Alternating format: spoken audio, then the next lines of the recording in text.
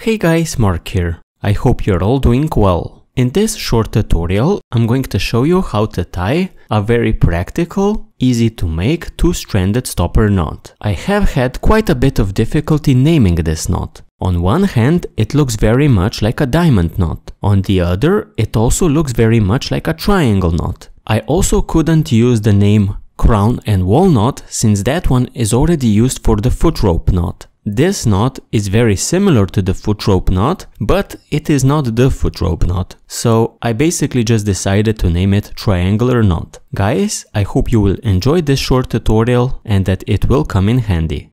Here I have two ends that I want to finish with our stopper knot.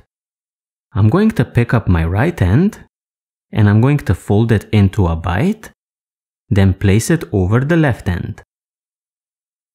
With my left hand, I'm going to weave through the bight, going over under.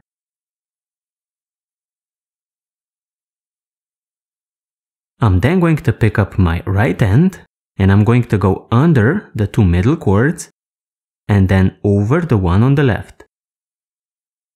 Then I'm going to pick up my left cord and I'm going to go over the two cords on the middle, then under the one on the right. Then all you need to do is pull on the two working ends in order to tighten up the knot.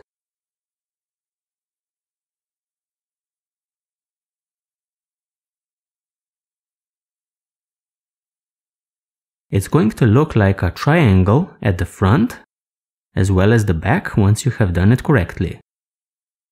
Guys, thank you for joining me in this very short tutorial. I hope this knot will come in handy Thank you and see you next time.